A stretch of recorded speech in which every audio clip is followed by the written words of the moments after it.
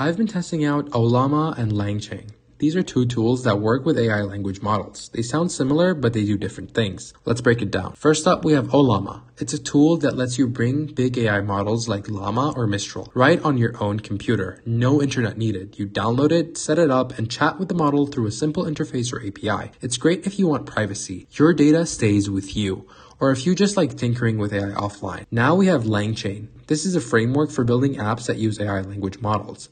Think chatbots or tools that summarize documents. It helps you connect the AI to things like websites or databases, manage conversations, and make smart workflows. It works with models online or ones you run locally, giving you tons of flexibility. So, how do they compare? Ollama is best if you want to run an AI model on your machine. Simple, private, no fuss. LangChain shares when you're making an app. It's more about building something useful with the AI. Want both? Use Ollama to host the model locally and LangChain to turn it into an app. For example, Ollama could run your personal AI while LangChain makes it a helpful assistant. In short, Ollama for running AI and LangChain for building with AI. Today, they're a perfect combo. Which one's for you? Depends on your project and thanks for watching. See you next time.